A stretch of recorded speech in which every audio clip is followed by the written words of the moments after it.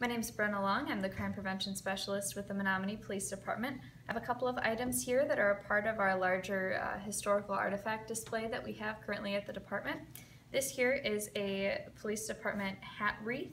It was worn on the hats of the early patrolmen and, and constables here at the Menomonie Police Department way back in the early 1900s or late 1800s, as shown here um, on Constable Gunnar Hovind.